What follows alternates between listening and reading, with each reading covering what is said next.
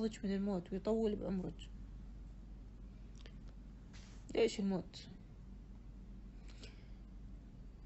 الموت حق اللي راح مو مشكلة بس حق الموت حق اللي قاعد مشكلة. لأنه يعيش ألم الفراق مع الناس اللي يحبها.